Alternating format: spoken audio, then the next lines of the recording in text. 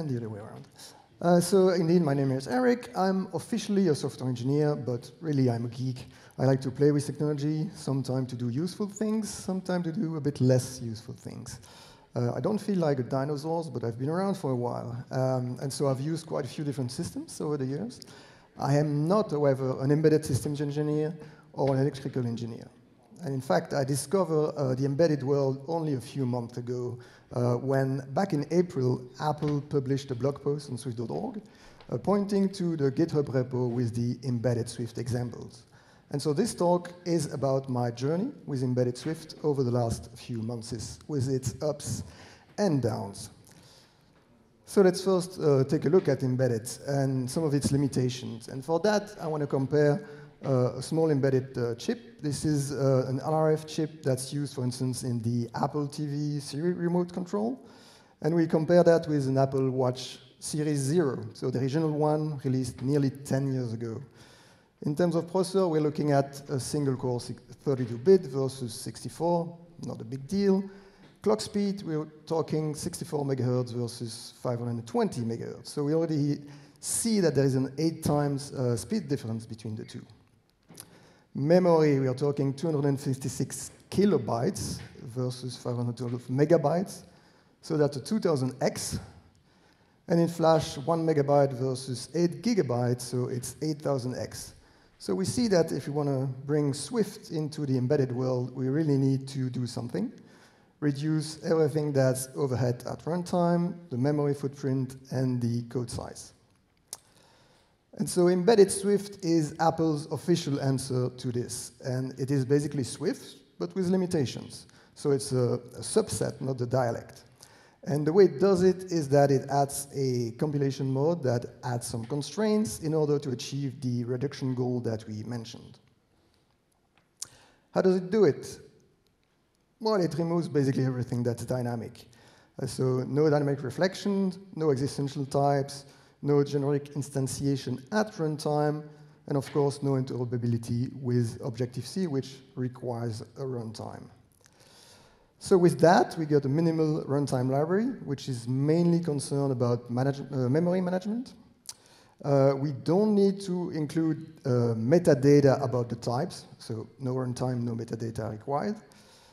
It also uses a reduced Swift standard library. So for instance, Codable is not available. And it does aggressive dead code stripping, so only bundling really the code that is required for execution. In practice, it's a few compiler flags. You need to define the target for which you're compiling. You need to enable the embedded mode, which is still experimental uh, to this day. And you need to do a whole module optimization for the dead code stripping. And so the embedded Swift manual indeed says that it's a compilation mode uh, where we produce an object file, much like another uh, compiler like C compiler would do, and that it needs to be linked with the rest of the code. Uh, and the linking is not done by the Swift compiler, it's done by the tool chain of your target environment. And the user manual goes on to explain the different steps required for embedded development. And we can see that uh, Swift is only a small part of that, all that's required. So there's a compilation, and then using the output of that compilation um, for the linking. Okay, uh, let's switch gear a, a little bit and see how uh, if you want to start embedded development, you could do it. So the first thing I would do is install the development uh, toolkit for the board that you're targeting. And don't think about Swift. Just install that and test that it works. And uh, in embedded world, the hello world is blinking an LED. Uh, this is the board I'm using, so it's an NRF 52840 developer kit, so you have buttons and LEDs and all stuff to play around. And their uh, SDK is, comes as an extension for VS Code. And so you can stay within VS Code, have code completion, and uh, have UI uh, to trigger the build and debug and all kind of stuff. And so you test that it works. Next step, go to Embedded Swift and look at the examples that Apple provides. In the example repository, you'll have quite a few different um, examples, depending on the uh, boards that you're using. So you will have stuff for ESP32, for uh, Raspberry Pi, uh, Pico, for uh, NRF in this case, which is what I'm using. And so if you look at the README, the first thing it says is you need to make sure to use a nightly toolchain of uh, Swift. And that is still the case even with Xcode 16. So I would highly recommend to do that. And so you look at the, the README and you execute, uh, sorry, you go to the website, you download uh, the latest snapshot. So you look at the README and you execute all the commands that are required to test the example, the main one being make sure that you use the toolchain that you just downloaded. But I don't know about you, but typing these kind of commands in a terminal to develop something, that's not what I want to do. And so the next step that I did was try to set up a proper environment for the development. And so needs to, there are a few tricks, but I managed to uh, have uh, VS Code with the normal NRF Connect SDK tools and the Swift uh, extension. And I have a blog post explaining how you can do that. And with that, I could, with one button, trigger a build, package everything, flash it to the board, connect to the board, and I can see on the console some debug logs. So that was, for me, a good starting point to go further. And so going further, you start with the examples provided by Apple. Again, let's take a closer look. For instance, this is the the, the, the, blinking LED. And so you see it looks like normal Swift code, except there is this GPIO pin configure DT and LED 0. So where's this coming from? That's coming from the bridging header uh, .h. This is a standard C header file.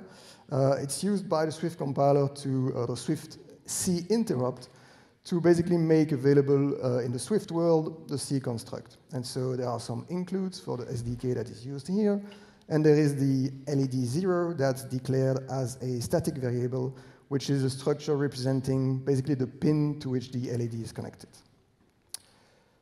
But this doesn't look very Swifty. It's just Swift as glue code to C. That's not what we want. So let's try to fix that. And we'll create a struct, a struct sorry, that will encapsulate the C calls. And we want to make it reusable, so we pass uh, the pin to which the LED is connected. And in C, that's a pointer to a struct. And so in Swift, we need to use unsafe pointer. So that might be a bit less uh, known to people doing regular iOS development. You don't use that every day. And there are full uh, suite of unsafe something. Uh, it's documented in Swift the C interop uh, documentation from Apple, so that's not really a big deal. And with that, our main function uh, looks a bit more Swift. But if you look in the SDK, they say that you're not supposed to use a pin before you have checked that the GPIO is ready. So we want to hand handle that case, and we create an error, and we make the initializer throwing. And it doesn't build. Uh, but the Swift compiler gives a pretty useful error, and uh, the issue is that throws is the same as throws any error. Any is an existential. Existentials are not supported by embedded Swift. But it's easily fixed with a feature that was introduced in Swift 6, which is type throws. And so you just add the type in the throws uh, clause, and that works fine. But until now, I just ignored the, the uh, error that was thrown, and so now I want to catch it and print something to the console so that I know at least that something went wrong. And it fails again.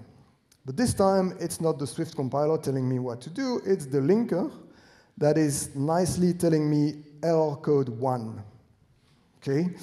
Uh, so this got me into a rabbit hole where I was trying to understand all the build system. It's not uh, SPM or Xcode, so it's a completely different build system. I wanted to pass uh, some arguments to get some more information, and then I went into trying to understand compilers and linker and linker script, and I was puzzled and I didn't find anything. Um, and then someday I looked at the repo again, and there was a commit by an Apple engineer that says fix incompatible PIC setting. PIC stands for position independent code. Uh, and with that, the code worked, and I have a, a nice blinking LED. Yay! Uh, to be honest, I have no idea if it would have taken me a week, a month, six months, or never to find that issue. Uh, so yeah, thank you, Apple. Uh, but that's just an LED, so I want to have a button and I want to have all kind of stuff. And so you just keep going at it. You hit some issues, you try to, to work around it, uh, and eventually you got some code that looks like Swift, where you can instan instantiate a class, you can have a button which is generic, because you can have generic at runtime, but generic specialization at compile time works okay, and you have a trailing closure to do the handler when you push the button. So to me, that's the kind of level that I would like to program with embedded Swift. So in summary, if you want to go that route, which is really fun, I would say start by, well, picking a, a board that you want to work with, install their toolchain, make their example work, then go to the swift.org website, download the Swift toolchain, uh, start from the example of Apple and grow your code from there.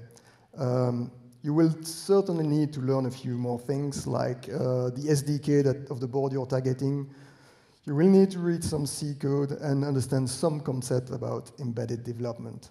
Uh, I was a bit stubborn and I wanted to discover by myself, but use the Swift forums, use the community, go to GitHub. There are plenty of things out there. And uh, things will improve. Embedded Swift is still very early development, I think. And uh, there is a useful link uh, on the Apple website with the status of what's currently in or not. So I have uh, a few articles on the blog post, uh, on the blog, sorry, with uh, talking about embedded Swift. I will um, post also a few example code in, in GitHub, and I will continue to write there. And uh, you can contact me if you want to talk about uh, that. Thank you very much for attending the last session.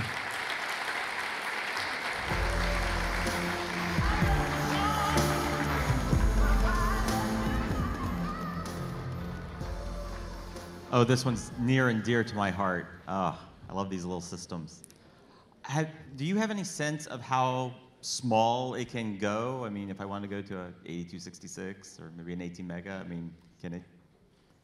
Yes, I've seen uh, a few uh, a few posts about uh, a few kilobytes of code, mm -hmm. so three or four. The um, the ATTiny is not yet supported, uh, more because of the instruction sets than the code size. Uh, but yeah, that's the goal that it should go down to eight bits, really low power stuff. Mm -hmm. Mm -hmm. How about um, have have you gotten a sense of the overhead? I mean, sometimes it's hard to get C code to fit on these little tiny things. Are you paying a big penalty or not much? No, not much. Uh, I think you, you can get to sizes that are pretty, pretty comparable to what you go, uh, get from C. Awesome. Uh, we ask, can we use a Swift embedded in, uh, in an iOS app? And uh, can the limit of this approach can improve the performance of our app? So the, the goal of Apple is indeed to use embedded Swift in more than embedded devices. So, but they're mainly targeting firm, uh, firmware, bootloaders, kernel code, etc. Um, the, as I said, it's a subset, and so you can compile with embedded mode on a Mac. I've never tried on an, an, Apple, an iOS, an iPhone, or an iPad, or anything, but you can compile code to, the, to your Mac host uh, uh, with embedded. Have you, I don't know if you've seen how hard or how complex it is to, to onboard some new platform. Um, if you had some chip that nobody else is taking care of, is that a huge project or? Something you could take in, take on? Yeah, I think it's it's pretty pretty big. and, and, yeah, uh, there is, for instance, the uh, in the ESP32 uh, there are two main categories: the C, which is using um, an, um, a RISC-V chip, which is mm -hmm. supported, and the S series, which is using Xtensa Core, and it's not supported. Mm. And I've read a few people trying to get there, and it seems to be quite a, a lot. quite a long, yeah, quite a trip.